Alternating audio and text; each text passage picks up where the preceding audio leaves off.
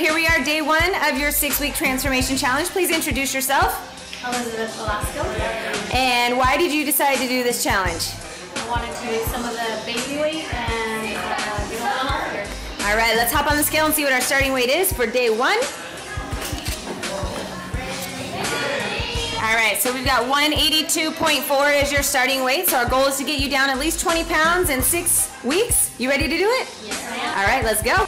All right, here we are, end of your six-week transformation challenge. We started six weeks ago, 182.4. Let's hop on the scale, see what our ending weight is. Oh. All right, go ahead and hop on.